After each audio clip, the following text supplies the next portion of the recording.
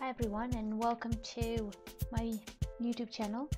Today I'm gonna continue with the series of sock knitting and uh, here I'm gonna show you how to knit the heel flap.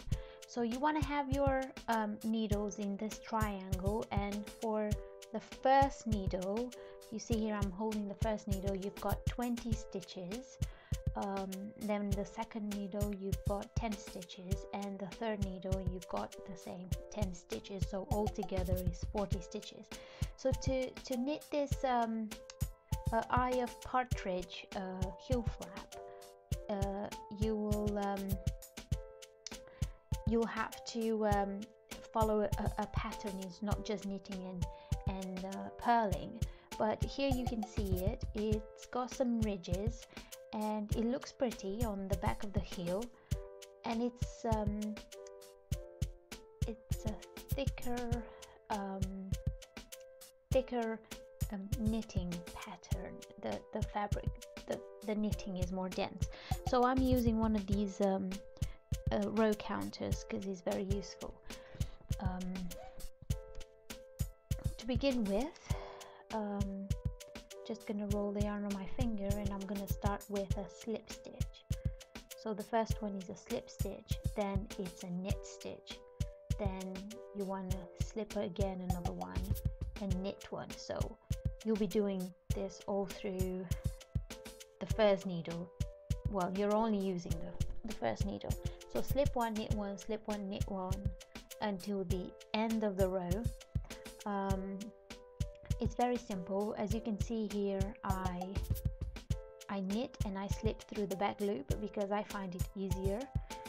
Um, now if you're used to doing it the other way then yeah do it the other way. But I think this this looks better. So slip one um, knit one till the end. And then you want to turn the work.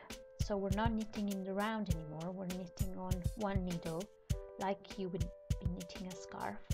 So turn the work and um, the only one we slip here is the first stitch and then we knit across the whole stitches um, until the end until the end of the work. So um, I am going to speed it up at some point because um, it's just purls so um, you just purl across until until the end of the row. Remember to count your stitches because you need to do 20 rows of this.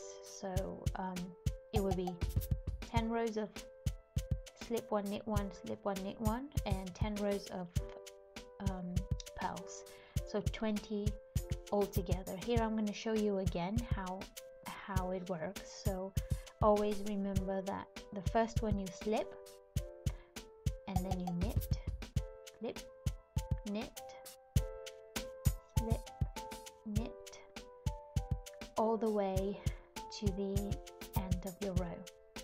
So as you can see it's a very easy um, stitch very easy pattern. It, it's perfect for the heel flap of a sock and um, it's, it's very quick. So yeah count your rows and I'll see you and when you finish. I will show you how it looks after 20 rows because um, the last row you have to knit through the whole stitches. That will be row 21 and after that we're going to continue with the with the shaping of the heel. Um, but for now we're just going to keep it to the heel flap. So um, here it is. As you can see I've finished. Um, it looks like a rib but only on one side because the other side it looks different than a rib. You can see the ridges. Those V's are the stitches that we slipped. And it, as you can see it, it's quite dense so it's good because the back of the heel always rubs. So yeah this is it. Thank you very much for watching. I hope you enjoy it. Uh, give this video a thumbs up and subscribe.